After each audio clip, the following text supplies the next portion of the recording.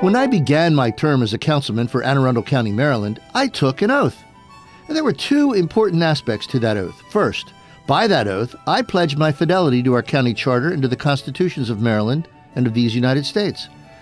Notice, please, that my oath did not include any commitment to obey what a judge says, or what a court says, or what a president or a governor says. The wording of the oath references the standard that applies to my behavior, and that standard is the written and objective wording of the Constitution.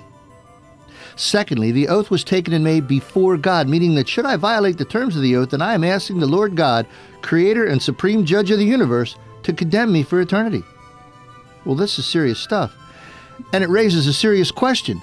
How in the world can a person who runs for office and desires to take this oath dare to ask for your vote or your support if he hasn't even read the documents that he pledges to uphold? And how in the world can you even consider voting for someone unless you are personally convinced that he or she is qualified? And how in the world can you tell if the candidate is qualified if you aren't? Well, you can become qualified. You can join us at the Institute on the Constitution for our Constitution course and get the tools you need to do the job you need to do.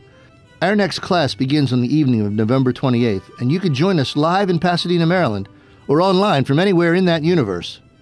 Please visit theamericanview.com or call 866 730 9796 and ask for Teresa.